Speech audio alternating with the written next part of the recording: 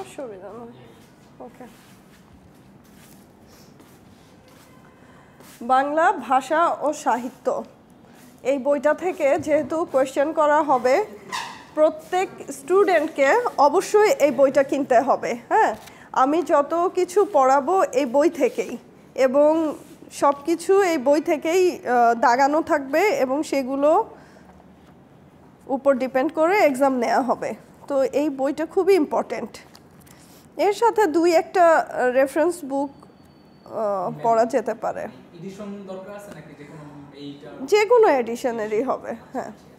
এটা রকমারি ডট কমেও পাওয়া যাবে বা খিলক্ষেতে না সরি নীলক্ষেতে। নীলক্ষেতে এটা পাওয়া যেতে পারে। অল্প দামে পাওয়া যাবে পুরান বইয়ের দোকানে হ্যাঁ। কেউ যদি নতুন কিনতে না চায় তো পুরান কিনলেও চলবে।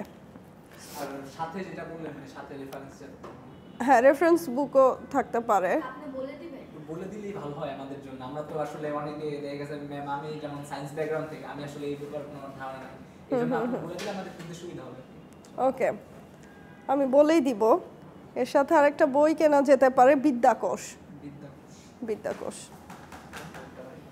ওকে। তো আজকে আমি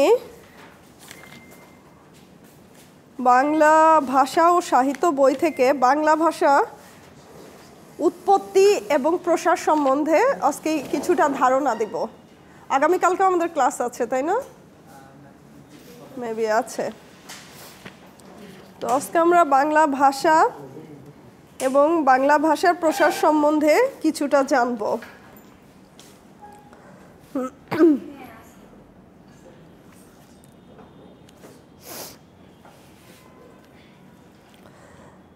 বাংলা যেহেতু বাঙালির মাতৃভাষা বিধায় বাংলা যেহেতু বাঙালির মাতৃভাষা এ কারণে আমরা স্বভাবতই বাংলাতেই কথা বলে থাকি এবং বাঙালিদের একমাত্র ভাষাই হচ্ছে বাংলা ওকে? তো সেই দিক থেকে শুধু বাংলাদেশের বাঙালিদের ভাষাই বাংলা না। না। সিয়েরা লিওন হ্যাঁ হ্যাঁ সিয়েরা লিওনে ওকে কিন্তু র্যাঙ্কিংয়ের মধ্যে র্যাঙ্কিংয়ের দিক থেকে, বাংলা ভাষা কততম? চতুর্থতম। চতুর্থতম বাংলা ভাষা।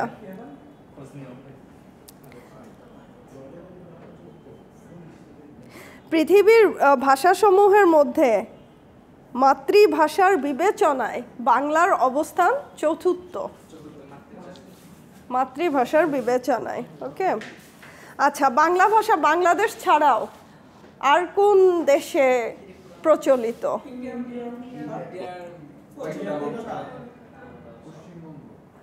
ইন্ডিয়ার পশ্চিমবঙ্গ, আসাম, তারপরে ত্রিপুরা, উড়িষ্যা, বিহার ছোট নাগপুর হ্যাঁ ইন্ডিয়ার কিছু কিছু অংশে বাংলা ভাষা প্রচলিত।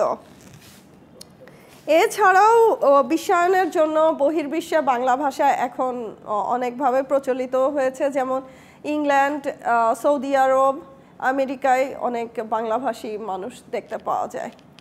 হ্যাঁ আর বাংলা ভাষার অবস্থান, ওই তো বলা হলো, র্যাঙ্কিংয়ের দিক থেকে চতুর্থ। যদিও ভাষার স্থান নির্ণয় একটি দুরূহ কর্ম মানে খুব কঠিন কাজ। ভাষার মানে ইয়েটা করা, স্থান নির্ণয় করা একটা খুব কঠিন কাজ। মাতৃভাষা হিসাবে ভাষা ব্যবহারকারীদের সংখ্যার উপর ডিপেন্ড করে ভাষার অবস্থান নির্ণয় করা হয়। মানে কতজন মানুষ এই ভাষাতে কথা বলে? তাদের সংখ্যাটা নির্ণয় করার পরেই ভাষার অবস্থানটা নির্ণয় করা যায়। তো সেক্ষেত্রে মাঠ পর্যায়ে তথ্য আহ, তথ্যানুসন্ধান করে আন্তর্জাতিক জরিপে দেখা গেছে পৃথিবীর সব ভাষার মধ্যে বাংলা ভাষার স্থান চতুর্থ।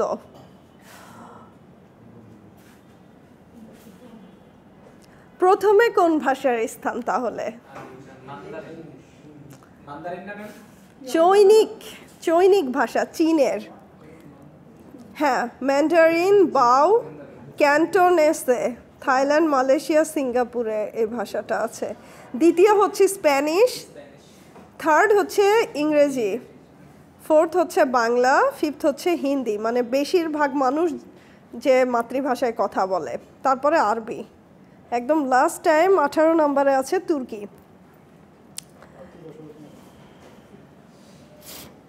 আচ্ছা তাহলে আমরা বাংলা ভাষার কিন্তু মোটামুটি প্রসার ক্ষেত্রটা পেয়ে গেলাম।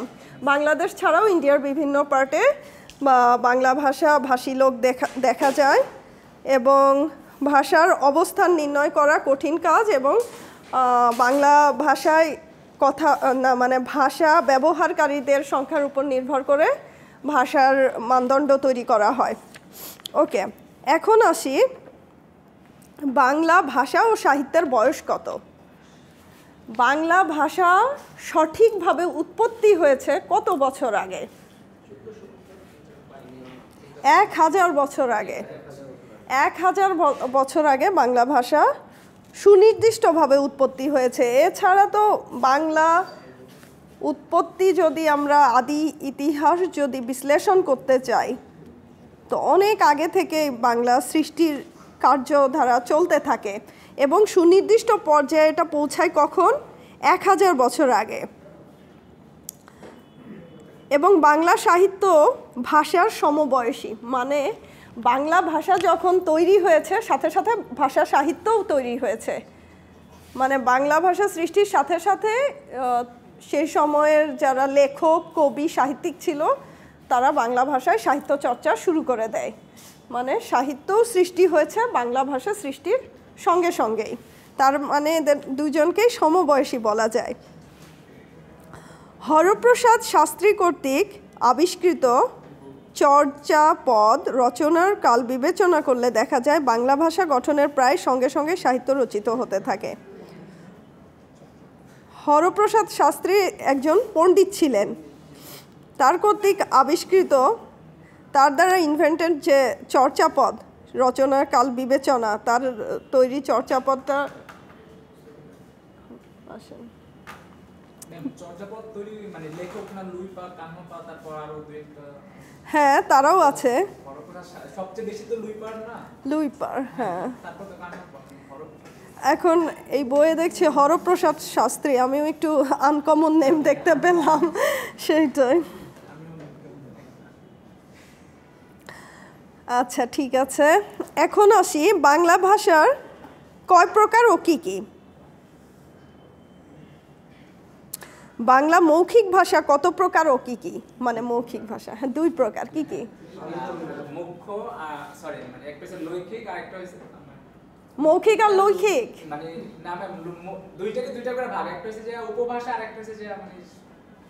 না বাংলা মৌখিক ভাষা, শুধু মৌখিক ভাষা কয় প্রকার? না। মান মৌখিক ভাষা ও আঞ্চলিক ভাষা। হ্যাঁ আরেকটা হচ্ছে মান মৌখিক ভাষা। এখন এমনি তো ভাষার দুটি রীতি, একটি এই হচ্ছে লৈখিক আর একটি হচ্ছে মৌখিক। ওকে, আর মৌখিক ভাষা হচ্ছে দুই প্রকার। দুই প্রকার একটা হচ্ছে মান মৌখিক মুখে আর একটা আর হচ্ছে আঞ্চলিক। মানমৌখিক ভাষা হচ্ছে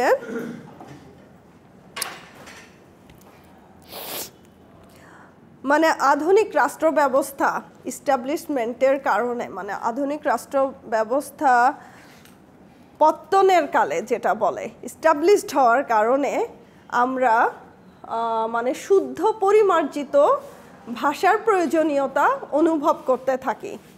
সমাজ ব্যবস্থার ক্ষেত্রে আমাদেরকে একটি প্রচলিত শুদ্ধ ভাষায় কথা বলতে হয়ে থাকে বা বলার প্রয়োজনীয়তা দেখা দেয়। আমরা কিন্তু চাকরি ক্ষেত্রে বা বিভিন্ন ভালো ভালো পর্যায়ে আঞ্চলিক ভাষায় কথা বলতে পারি না বা নিজস্ব ভাষাতেও কথা বলতে পারি না। আমরা কি করি? একটা প্রচলিত মানদণ্ড অনুসারে একটা শুদ্ধ ভাষায় কথা বলার চেষ্টা করি। সেটাকেই বলা হচ্ছে মানমৌখিক ভাষা। এটাকে অন্য ভাষায় মান্য মৌখিক ভাষাও বলা হয়ে থাকে। মানে যে রাষ্ট্র ব্যবস্থা ব্যবস্থা পত্তনের ফলে সব কিছুই পরিমার্জিত ও সর্বজনীন করার প্রয়োজনীয়তা দেখা দেয়। সেক্ষেত্রে নানা স্থানের বহুরূপ থেকে পরিমার্জনার মাধ্যমে একটি বিশেষ মান অবস্থার চেষ্টা চলে। বাংলা ভাষায় এক্ষেত্রে নদিয়া শান্তিপুরের ভাষাকে মৌখিক মান ভাষা ধরা হয়। হ্যাঁ বলেছে যে বাংলা ভাষায় নদিয়া শান্তিপুরের ভাষাকে মানমৌখিক ভাষা বলা হয়, কারণ এই এলাকার মানুষগুলো শুদ্ধ বাংলায় কথা বলে। এখন আমরা প্রশ্ন আসতে পারে যে নদিয়া শান্তিপুর আবার কোন এলাকা?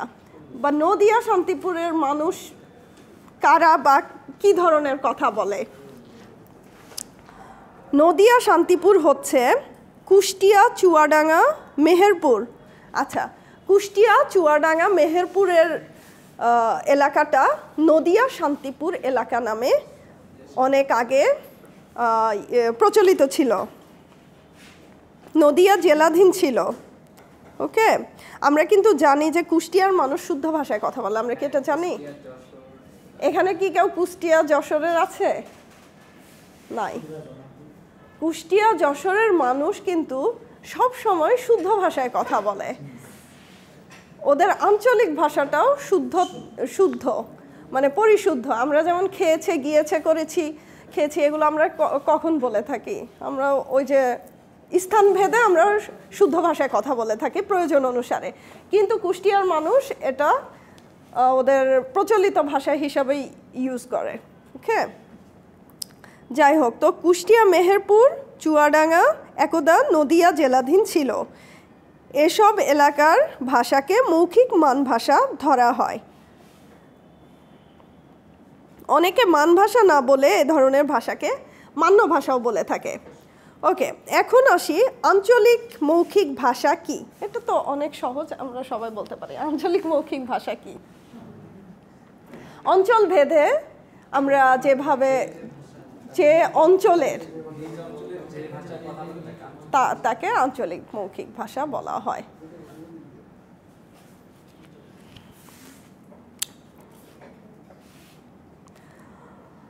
আচ্ছা দাপ্তরিক বা অফিসিয়াল ল্যাঙ্গুয়েজ হিসাবে বিশ্বে কোন ভাষার স্থান প্রথম? ইংরেজি। ওকে। আর বাংলা? জি। বাংলা কততম? সেটা বলছি। অফিসিয়াল ল্যাঙ্গুয়েজ হিসেবে বাংলা ভাষার স্থান কত? ষষ্ঠ সপ্তম? কে বলতে পারবে?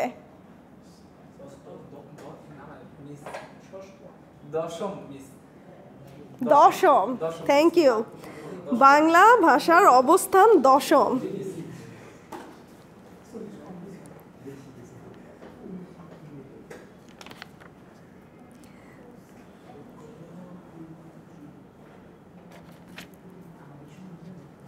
আচ্ছা।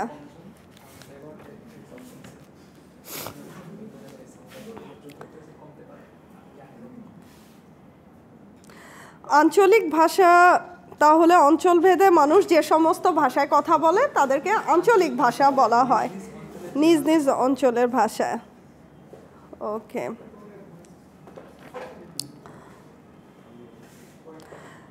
তারপরে আসে ভাষার প্রকারভেদ। এটা তো খুবই সহজ।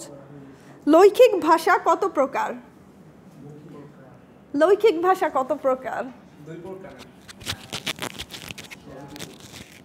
সাধু ও চলিত। চলিত মৌখিক ভাষা তাহলে মৌখিক ভাষা দুই প্রকার ছিল। কি কি? সাধু আর চলিত। না মৌখিক ভাষা ও মৌখিক ম্যাম চলিত আঞ্চলিক।